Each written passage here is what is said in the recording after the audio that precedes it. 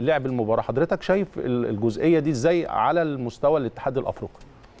شوف هي اولا أصعب شيء في الجزئية ديت هو اتخاذ السلطات المغربية اللي بتقودها صحيا وزارة الصحة في المغرب لقرار عدم السفر لفريق الرجاء قبل أسبوع من التاريخ اللي ثبت فيه إصابة تسع لاعبين بالكورونا.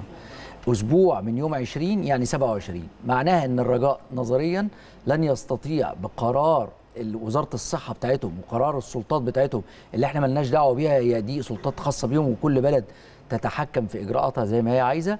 ما يقدرش يجي قبل يوم 27 أو 28 عشان يجي 27 أو 28 يبقى المباراة مش هتتعمل قبل 29 يبقى ده كده الوضع الراهن اللي إحنا بنتكلم فيه. حقيقه الأمر إن الاتحاد الأفريقي في مأزق.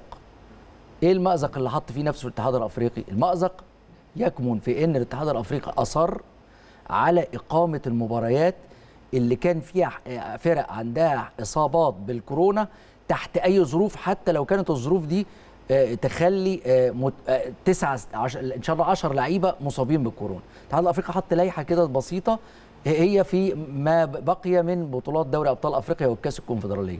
إن الفريق اللي لديه 14 لاعب متوفرين غير مصابين يبقى المباراة هتقام. آه يعني بتتكلم على 11 لعيب وثلاثه موجودين وثلاثه بس على دكه البدلاء.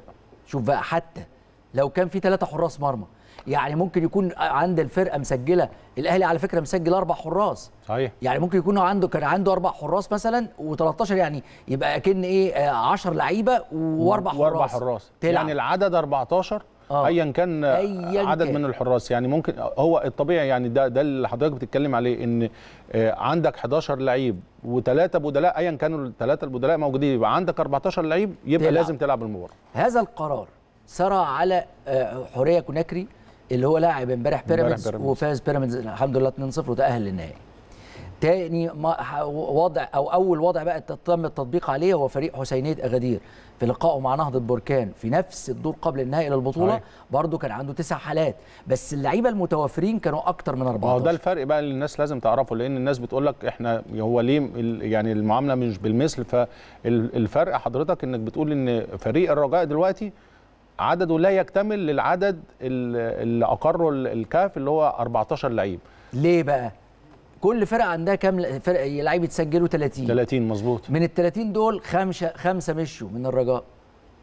بقى خم... منهم 100 أحداد منهم يعني لعيب كان موجود بالزبط. طبعا عندهم بس ما يقدرش يلعب مع الزمالك يبقى في خمسة مش هيلعبوا. يبقى كام؟ 25 لاعب.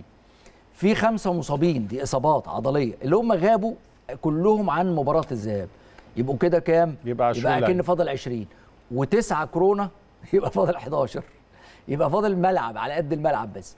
طبعا برضو ناهيك على إن في ضغوط موجودة أكتر من الجانب المغربي لأن إحنا عارفين دلوقتي بكل أمانة ده مش خافي على الإعلام إن في سطوة معينة للمغرب على الكاف من أول ما جه أحمد أحمد حتى الآن. في في سيطرة من الجانب ده. والدليل على هذه السيطرة إن في مسؤولين هناك وعلى رأسهم فوزي لقجع رئيس الاتحاد هناك. هو طبعا بيبقى مسيطر على حاجات كتير جدا.